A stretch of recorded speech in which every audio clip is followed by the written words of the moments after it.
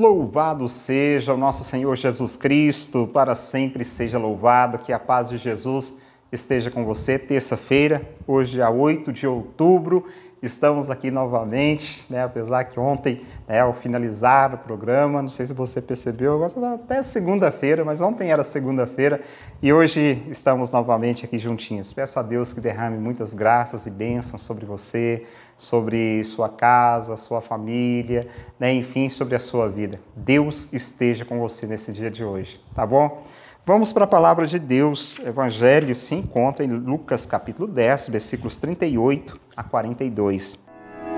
Naquele tempo, Jesus entrou num povoado e certa mulher de nome Marta recebeu em sua casa.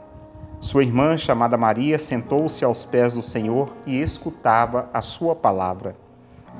Marta, porém, estava preocupada com muitos afazeres. Ela aproximou-se e disse: Senhor, não te importas que minha irmã me deixe sozinha com todo o serviço? Manda que ela me venha ajudar. O Senhor, porém, lhe respondeu: Marta, Marta, tu te preocupas e andas agitada por muitas coisas. Porém, uma só coisa é necessária. Maria escolheu a melhor parte e esta não lhe será tirada. Palavra da salvação. Glória a vós, Senhor. Bem, retomamos aqui o Evangelho de Lucas. Né? Ontem é, vimos Lucas, mas devido à memória que celebrávamos de Nossa Senhora do Rosário, no capítulo 1, hoje capítulo 10, que relata a visita de Jesus à casa das irmãs Marta e Maria, e retratando ali dois momentos, é, duas perspectivas na vida do fiel, é claro: a escuta e o serviço.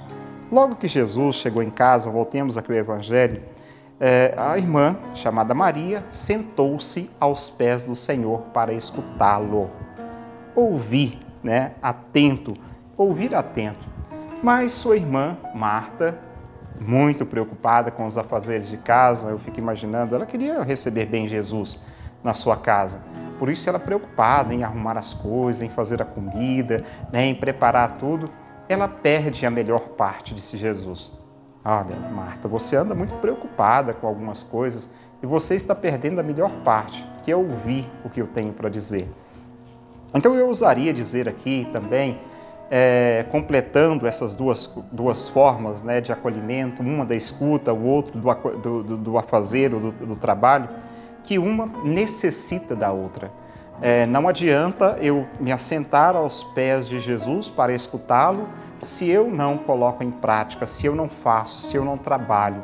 E também eu não posso só trabalhar se eu não tenho tempo para ouvir a palavra de Deus, se eu não tenho tempo para escutar. Então, como já disse, as duas opções são belas, né? os dois princípios são belos. Aquele acolhimento, a forma de acolher, mas trabalhando, e a forma de ouvir a palavra. Mas ambas uh, se completam ambos se completam. E o cristão autêntico ele deve reconhecer né, essa, nessas duas irmãs né, na cena do Evangelho, estando sempre à escuta do Senhor e a serviço. Contudo, né, há uma certa primazia na figura de Maria. Ela escolheu a melhor parte e esta não lhe será tirada. Ouvir a palavra de Deus. Então, existe uma certa primazia é, nesses dois casos porque ela parou para ouvir a palavra de Deus. Ela quis escutar a palavra de Deus. Atentamente ela acolheu a palavra de Deus na sua vida. Ou seja, o discípulo aos pés do Senhor é, caracteriza-se pela escuta atenta do Mestre. O serviço disponível e generoso torna-se consequência frutuosa dessa primeira ação, do ouvir. Né? Então, por isso eu falava, é necessário que se tenha as duas ações. Então, que nós também, claro, no nosso dia a dia, na nossa vivência, tenhamos à disposição. Primeiro, primeira coisa é ouvir, tá? Primeira coisa eu tenho que ouvir a palavra de Deus. O que Deus quer de mim? O que Deus espera que eu faça? Como Deus quer que eu haja no meu trabalho? Como Deus quer que eu seja? Eu preciso escutá-lo.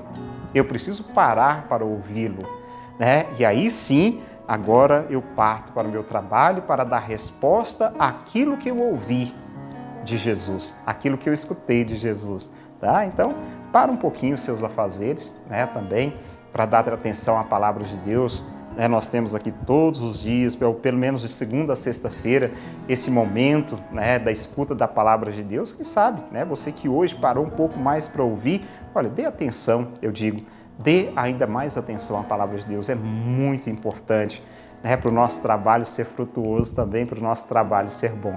Sem Deus, nós não somos, nós não somos nada.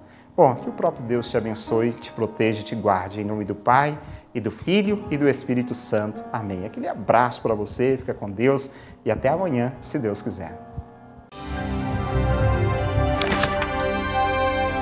Palavra do dia com Padre Marcos. Oferecimento. Famag Pré-Moldados, qualidade em primeiro lugar. Rua da Contagem, bairro Paracatuzinho, Fone 38 3671 1032. A Retífica Paracatu atua na venda de peças para motores a combustão, serviço de usinagem de bloco, virabrequim, comando, bielas, cabeçote com testes de trincas Magna Flux e teste durezas de virabrequim e comando de válvula. Fazemos a retirada e instalação do motor diesel em veículos, máquinas agrícolas e estacionários. Retífica Paracatu, no bairro Nossa Senhora Aparecida.